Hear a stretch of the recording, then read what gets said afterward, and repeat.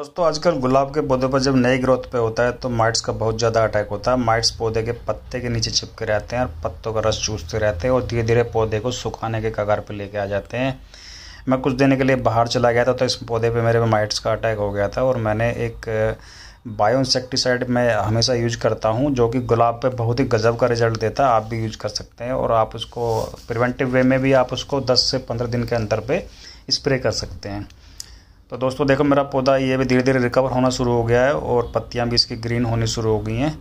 तो ये दोस्तों जो बायो इंसेक्टिसाइड इसका नाम है एक्सोडस एक्सोडस एक टॉनिक का भी काम करता है और कोई हार्मफुल नहीं होता, ना स्किन के लिए, ना मधुमक्खी या कीट पतंगों के लिए भी ये हार्मफुल नहीं होता है। माइट्स को पूरी तरह से हटा देता है अच्छा रिज़ल्ट देता है, आप इसको यूज़ कर सकते हैं। अगर आप केमिकल की तरफ़ नहीं जाना चाहते तो आपके लिए बहुत ही अच्छी चॉइस है। वीडियो अच्छी लगी हो तो आप धन्यवाद।